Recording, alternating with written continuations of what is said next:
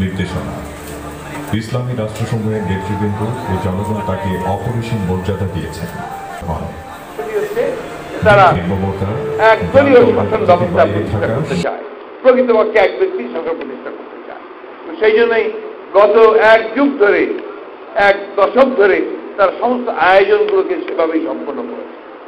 আপনারা দেখেছেন যে দুই হাজার আট সালের নির্বাচনের পরে ক্রমান্বয়ে ধীরে ধীরে অত্যন্ত সুচতুরভাবে সুপরিকল্পিতভাবে তারা সংবিধান পরিবর্তন করেছে সাহের হকের জাজমেন্টের পর থেকে তারা এই কাজটি শুরু করেছে।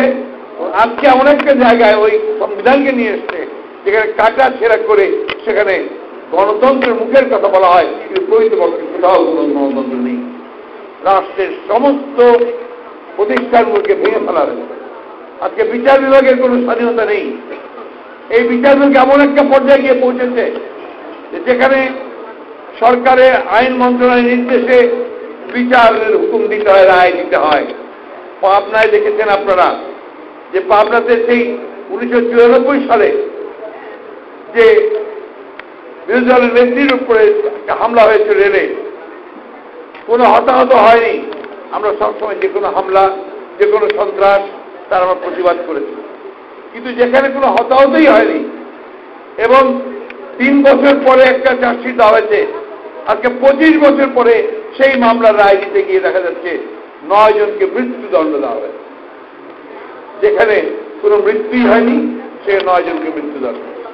পঁচিশ জনের যাবজ্জীবন কারাদণ্ড এবং তেরো জনের দশ বছর করে কারাদণ্ড। এই হচ্ছে বিচার বিভাগের অবস্থা। আজকে দেশের বেগম খালেদা জিয়ার মামলাগুলোর দিকে তাকালে আপনারা দেখতে পাবেন। যেখানে এই ধরনের মামলা, যেটা বেগম দেশের জিয়ার মামলা। এটা সম্পূর্ণভাবে একটা সাজানো মামলা।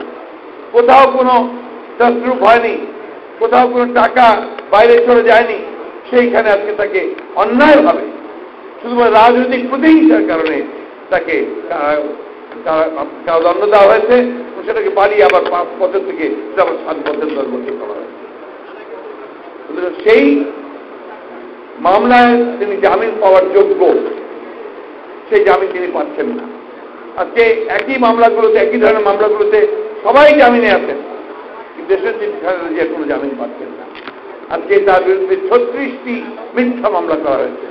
এমনও মামলা আছে যে বলছে তিনি একই সময়ে, একই সময় তিনটি থানায়, তিন জায়গায় গিয়ে তিনি বোমা মেরেছেন। এই মামলাও আছে। এগুলো থেকে কি প্রমাণিত হয়? একটা জিনিসই প্রমাণিত হয় যে তারা দেশান্তি বেগম খালেদাকে সবচেয়ে বেশি ভয় পায়।